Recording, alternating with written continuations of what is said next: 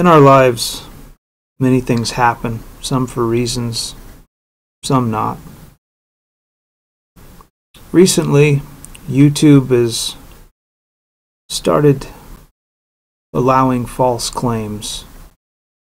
And when I say recently, I mean in the last six to eight years, since Google bought YouTube. The problem is, is this system is being abused, and it has been abused for a long time. We can fight it if we stand together. It's time for YouTube content creators to stand up for themselves because there there's no one else that will. These massive companies are trying to say they needed to be protected from small creators. From small creators using small clips in videos, these people say that it harms them in some way.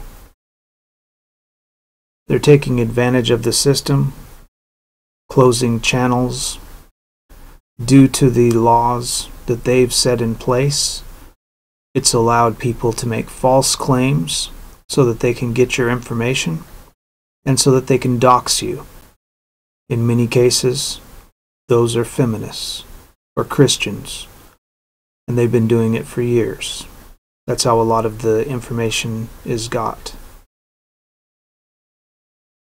I want to implore the YouTube content creators who care about small creators, who care about their own creation their own free creation on YouTube.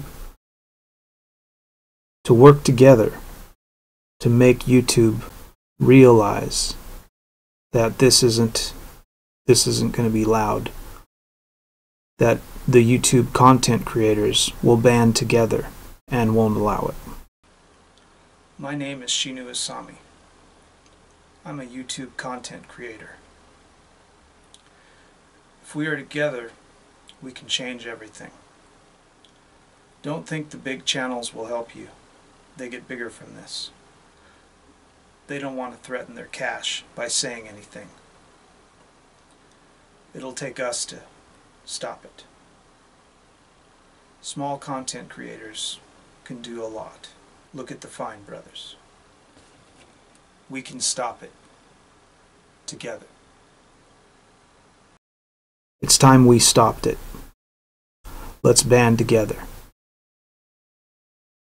Hashtag, where's the fair use?